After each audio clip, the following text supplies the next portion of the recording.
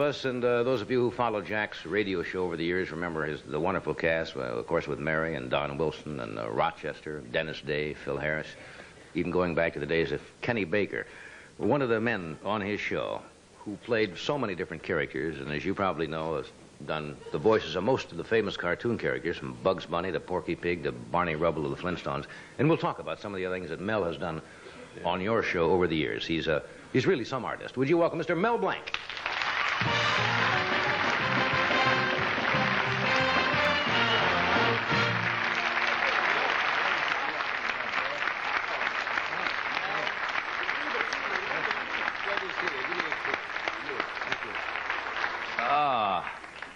Mel? Good, thank you, Bee, Johnny. Is that it? Pretty close. That's a remark. How many years did you work before people actually saw you doing anything? I mean, you, you people who do voices and start with voices uh, do very well in the business. A lot of my friends, like uh, Junie Foray and other people who do the voices, everybody hears them, but don't, but very seldom see them until television came along, right? That's right. I started uh, radio in 1927. Give you an idea how I'm older than Jack Benny. No. no. You started that early? 1927, a program in Portland, Oregon called uh, Hoot Owls, in which I sang a song. My brother Henry accompanied me, and uh, I sang this crazy little song. Yeah. Wanna eat, wanna eat, Juanita. How does one get into that rather um, small group of people who do voices? Uh, you, you show up, or do people say we want a voice of something, and you go in and audition for a particular character? Or No, I uh, I tried for a year and a half to get into Schlesinger cartoons, and uh, this uh, head of the company or head of the voice department kept saying, uh, "We have all the voices we need. We don't uh, need anybody." And I kept this up for every two weeks. I'd go there, and he kept saying the same thing. I said, "Just listen to me anyway." And kept saying, "I have all the voices we need." Finally, the guy died. That's an awful thing to laugh at, isn't I know. Not nice to laugh at the dead. For those of, Well, anyway, I went to the next guy in charge, a guy by the name of Treg Brown, and uh, I told him that uh, I would like to have him hear me. He said, sure, what can you do? I auditioned for him, and then he said, great, would you do it for the directors? So I auditioned for the directors, and one of the directors said, uh, can you do a drunken bull? a drunken bull? Yeah, that had eaten some sour mash. And I had to... That's not him. And, uh... Well, that's from that picture you saw. Yes. And uh, I thought, uh, yes, I said, I can do a drunken bull. He said, how would it sound? I said, well, it sounded a little, a little like you was looking for some, some sour mash. He said, great, what are you doing Tuesday? He said, let's say Tuesday. I wasn't doing a darn thing. I see, I think I can make it all right. Just can And that it was in. the first voice I did in the cartoons. And the director that asked me to do it was Frank Tashlin, who's now a director in pictures. I certainly is. How did Bugs Bunny come about? Did, now, did you audition for that? No, they again? showed me a picture of uh, this crazy little character. And they said he was tough, told me what the storyline was going to be. And I thought, uh, let's see now, which is the toughest voice in the United States? It's either Brooklyn or the Bronx. So I said, why don't I put the two together? So uh, that's what come out, Doc. What is funny? You know, what is, what, what is funny, when they do these voices to cartoons, and we tried to show it one night, and it didn't work because you, we couldn't get the proper setup, is when they show a cartoon or an animated picture, and you see people like Mel and Alan Reed and June Foray and Paul Frees and somebody who do a lot of these voices, watching the cartoon and standing around a microphone, four adult people doing these voices is the funniest thing. That is hysterical. They should film that. You know, grown men going, and going home after a day's work. Now, for years, when I listened to Jack's show, and he'd Well, they filmed everything Yeah. that he did on my show, and he did all the characters.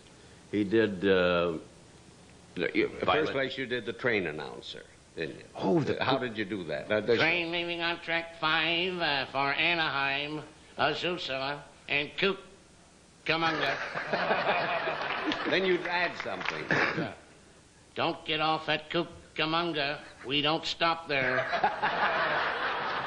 you know, for years now, people Wait, who let me live back in the more thing. Can I Midwest didn't know there was a places Anaheim, Azusa, and Cucamonga. We thought we never heard of such places. We thought they let, were making let- them up. let me tell you, we did one show. He stopped in the middle of kook for a long time, and I said something, and then listen to what he said. Do the one where you said Anaheim, Azusa, and kook. Anaheim, Azusa, Train, and start with train. train leaving on track five for Anaza- Anaheim, Azusa, and Coop Oh, no. among uh, No! Damn it, you spoiled it. oh, no. Oh, yes. A cucumber. oh, Let's try it again. Let's try it Getting again. tired of it? No, no, I wanted to hear the way you actually did it. Train leaving on track. Give him my signal. This is a rehearsal. Try it. Rehearsal, all right. You can go out. Okay. All right. Try. Train. train leaving on track five for Anaheim, Azusa, and Coop. Oh, no. Oh, yes. A manga. A manga. A manga. I remember he does it. 40, 40 years ago, I don't remember it. 40 years he remembers everything. What Now, else? What when I used to listen to your show, I'm going to ask him this, and you would go out in the Maxwell and start the car. Yes. I'd say those are the wildest sound effects I've ever heard in my life because most mechanical things are done by a, uh, by a recorded thing. And Mel used to do it when I'd go see the radio show. You'd, Mel would stand up on the stage, Yeah, I, I used to say. and the audience would go into hysterics. I used to say, Rochester, get the Maxwell started, because I want to leave. And Mel would be the Maxwell. Gee, you ought to have a mic right near you. For the, we, can, we can drop this Can down. you drop this Just down? put it in the picture. Don't worry Yeah. So I said, get Rochester, get the Maxwell started, and he would go out, and you'd hear the Maxwell, and this would this would be it. Go ahead.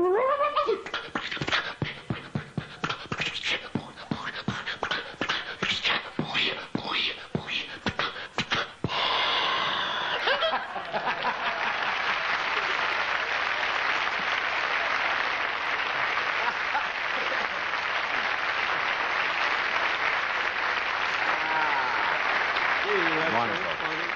That's My. Maxwell still sounds like that without him. You know. And the studio audience used to fall down from laughter just Well, watching Mel do I'm these trying things. to think Freddie's the trying to tell us things. something.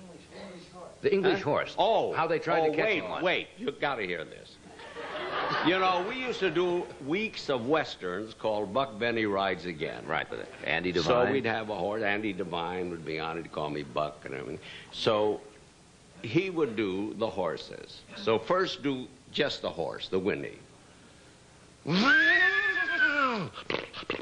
That's right. Now, one day my writers and I got together and we said, let's play a dirty trick on Mel Blanc and see what he does at rehearsal. He must comment on it. So we said, let's write in an English horse. For no reason. Now, we thought certainly he must say to us, what the hell does this mean, an English horse? He never said a word to us, never opened his mouth. When it came time to do the English horse, this is what he did, and we didn't even know it.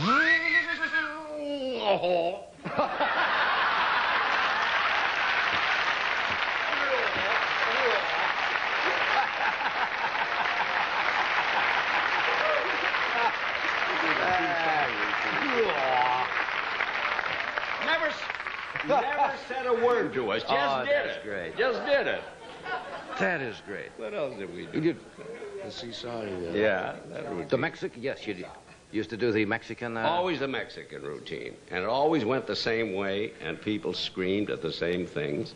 And I would see him, he'd be a Mexican. Let's say I'd be at a railroad station. Do you know the routine you used to do when you did the Treasure of the Sierra Madre? And he kept saying "see." Remember yeah, that's that? it. You know that's the routine. So I would say, um I'd go I'm up to him you. and I'd say, "Pardon me, uh, are are you leaving for Mexico City?" See?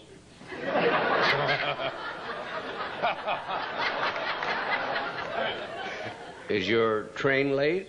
See? Have you Have you been waiting here a long time? See? What's your name? Sorry.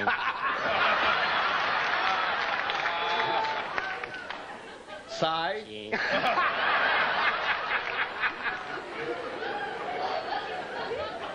Is that a friend of yours sitting with you? She. Your sister? She. I'm afraid to ask this next one. What's her name? Sue. Sue? Oh, what else? Where'd we go from there? What does she do for a living? what does she Oh, do? yeah. Oh, this one. Bonnie, I said to her one thing. This wasn't even the script. I said, what does she do for a living? So, So? So? See? Oh, those are great routines. Great.